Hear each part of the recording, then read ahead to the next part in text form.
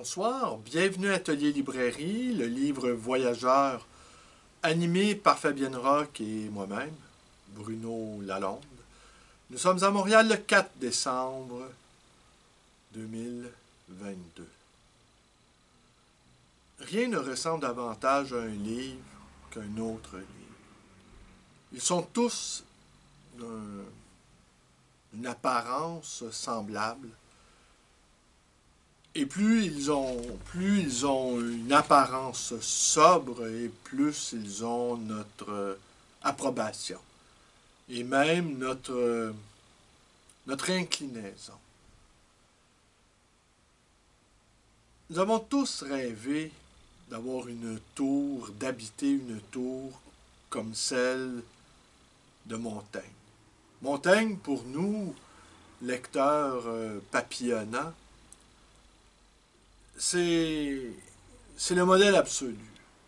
Mais Montaigne, sous sa, son apparente euh, indifférence, sous son dilettantisme savamment étudié, était quelqu'un de rompu à l'usage de l'étude.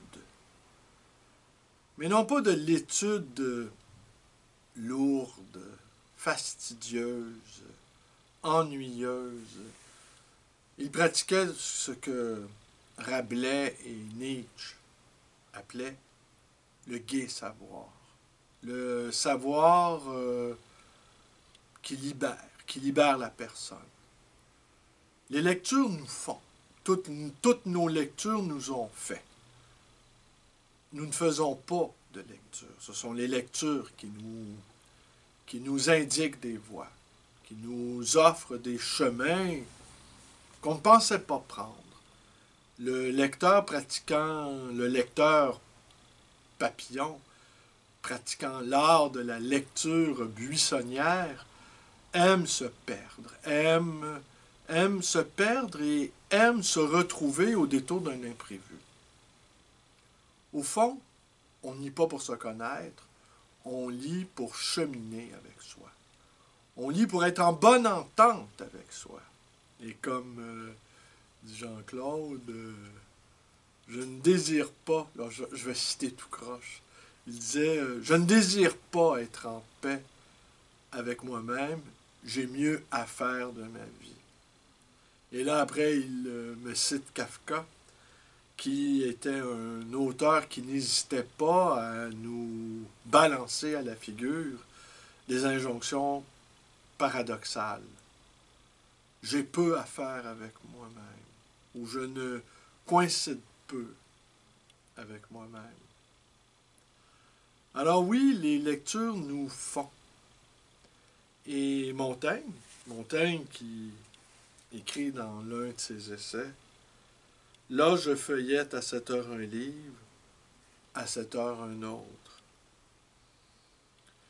Sans autre ordre et sans dessin, à pièces décousues, tantôt je rêve, tantôt j'enregistre et dicte, en me promenant, mes songes que voici.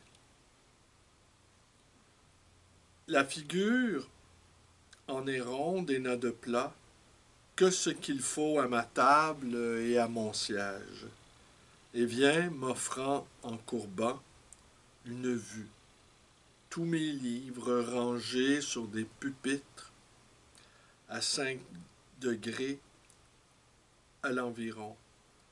Elle a trois vues de riches et libres prospects et seize pas de vide en diamètre. En hiver, j'y suis moins continuellement, car euh, ma maison est juchée sur un tertre, comme dit son nom, et n'a point de pièce plus éventée que celle-ci, qui me plaît d'être un peu pénible à l'écart, tant pour le fruit de l'exercice que pour reculer de moi la presse, c'est là mon siège. Et c'est écrit dans le, français ancien Donc, je, l'ai modernisé pour votre, votre usage et le mien aussi.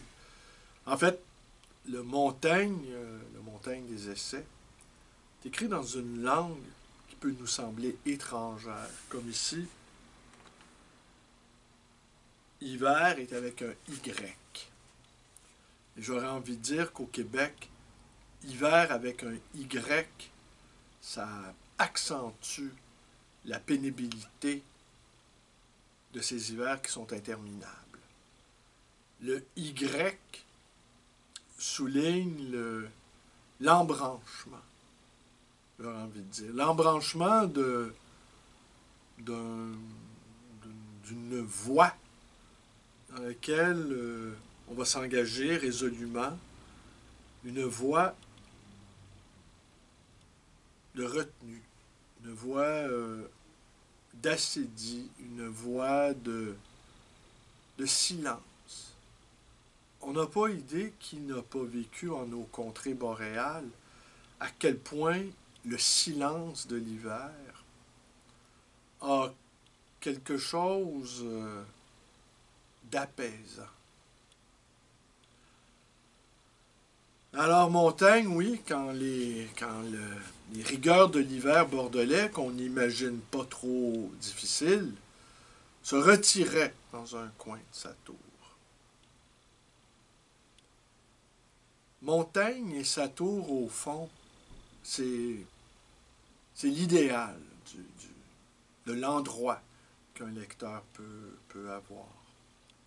La tour, c'est l'image absolue, en fait, c'est l'image rêvée de, la mise en retrait. Et Montaigne, dans son extraordinaire modernité, à quelque part, nous invite au retrait. Aujourd'hui, euh, cette vidéo va être courte car euh, c'était la 31e ou 32e représentation, je ne sais trop, de Atempera de Fabienne, Fabienne Rock.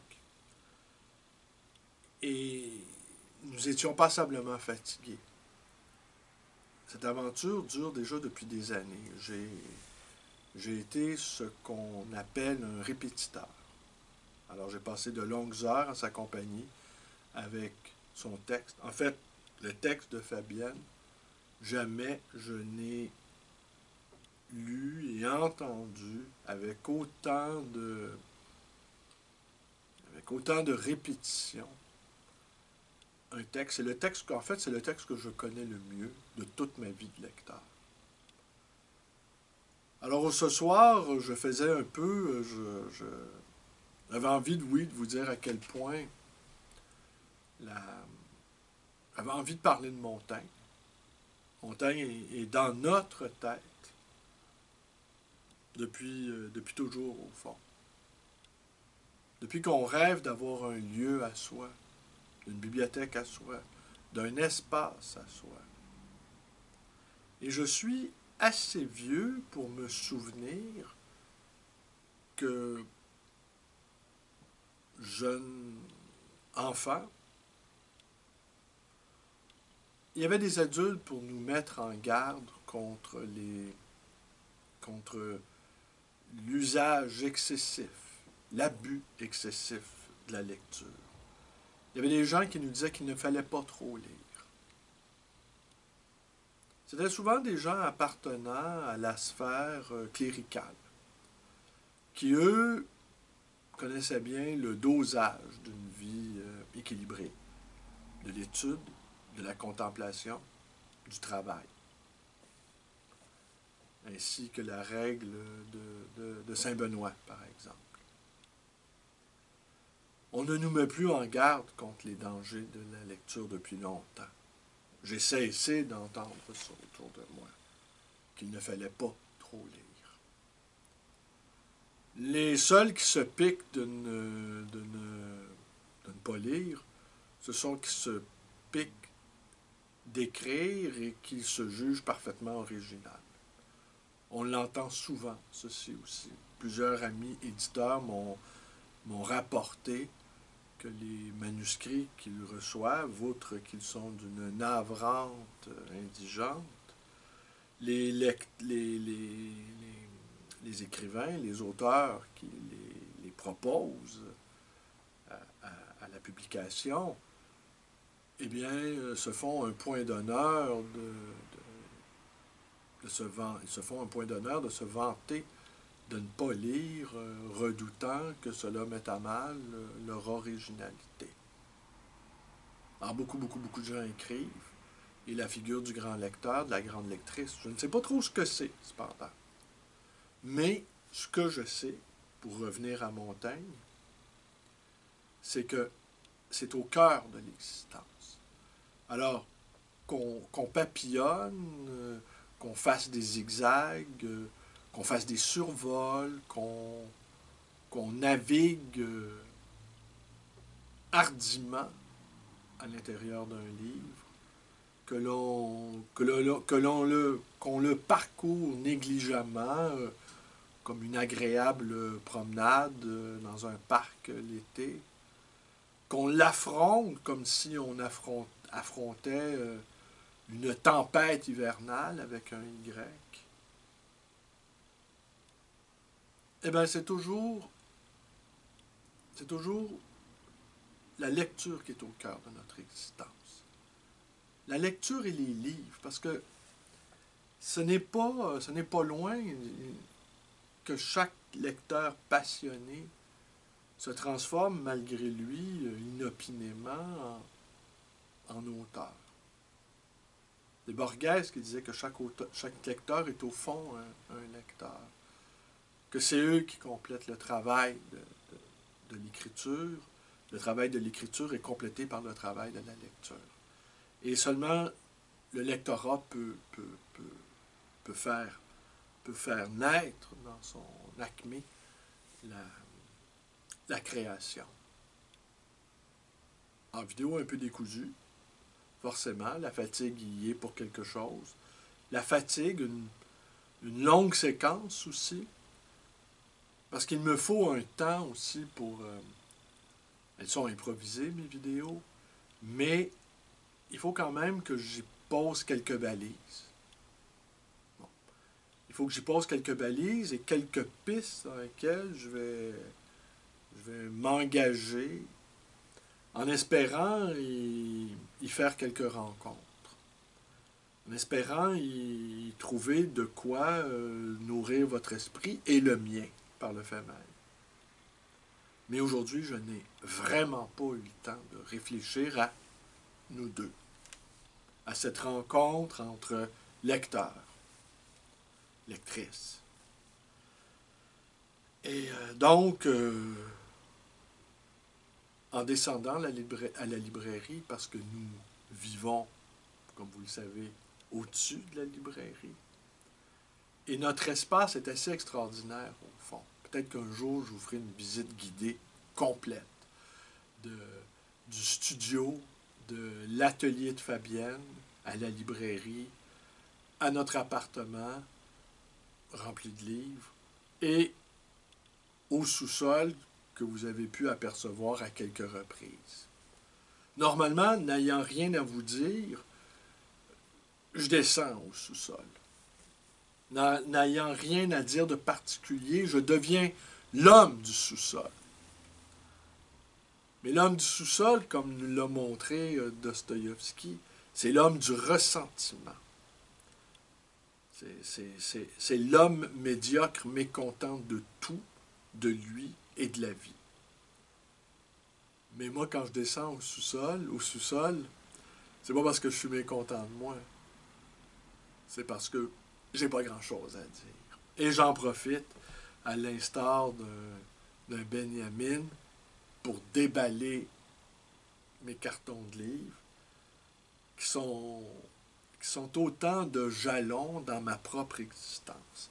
Et c'est étonnant, pour moi, de retrouver ainsi ma vie dans un sous-sol, dans des cartons, avec des livres qui commencent à accuser le poids des années, sont fatigués, les dos sont frottés, les nerfs sont usés,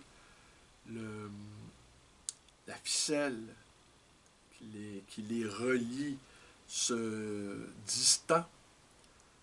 les coutures, parce que certains livres sont cousus, commencent à, montrer des signes de fatigue, ou encore la colle, pour ceux qui sont collés, commence à se dessécher et les pages jaunir, offrant euh, une certaine perspective d'un futur proche qui m'attend peut-être. Mais il, suffit d'ouvrir l'un de ces livres usés pour, euh, qu'un parfum euh, de poésie monte de ces pages de ces pages fatiguées, un parfum éventé, mais qui nous donne à rêver tout de même. Ah, c'est ça aussi, les livres. Ce sont des objets pauvres, ce sont des objets innocents, ce sont des objets...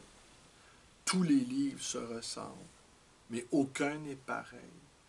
Chaque livre est une rencontre différente. Chaque livre qui rencontre son lecteur crée une dynamique nouvelle. Chaque livre lu par chaque lecteur est une expérience nouvelle et pour le livre et pour le lecteur.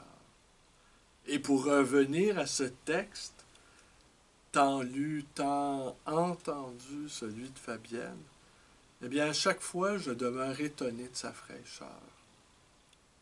Je demeure étonné du courage dont fait preuve Fabienne en interprétant courageusement un texte fort, sensible, hautement poétique, courageux parce qu'elle euh, remet, euh, elle offre à la vue une perspective sur sa propre vie ainsi que sur euh, la vie de sa mère, de sa grand-mère, de son arrière-grand-mère. Et de cette longue généalogie aveugle et silencieuse des femmes qui n'ont pas nécessairement été euh, entendus ou écoutés. On demeure euh, effaré à quel point la parole des femmes est encore, euh, est encore un sujet tabou. Et elles ont tant à nous dire. En fait, nous avons tant à écouter. Alors, hiver avec un Y, Montaigne, euh, sollicité in extremis, et, Fabienne, le texte de Fabienne, dont c'était la dernière représentation aujourd'hui.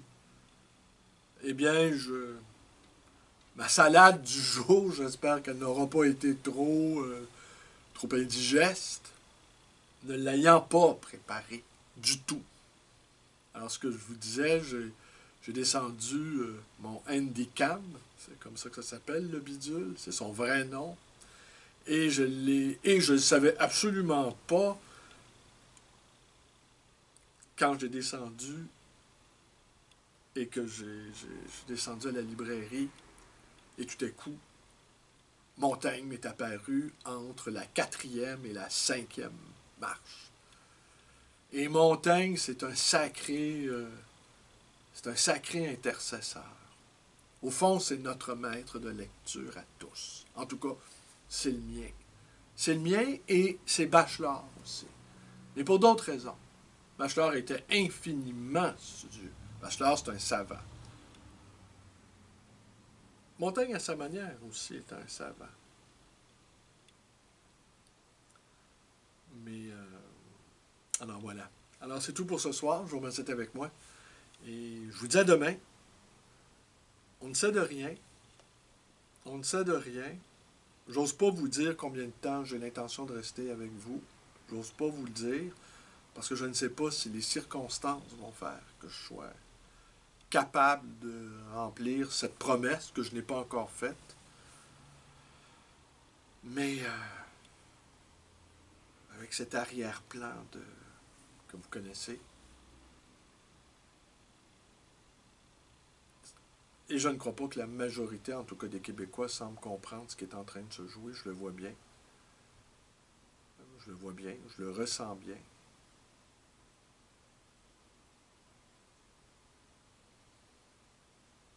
Mais c'est vraiment la, la séquence lazaréenne qui, euh, lorsque je l'ai commencé le 10 février euh, dernier, je ne savais pas à quel point euh, elle serait vraie, cette séquence-là. À demain.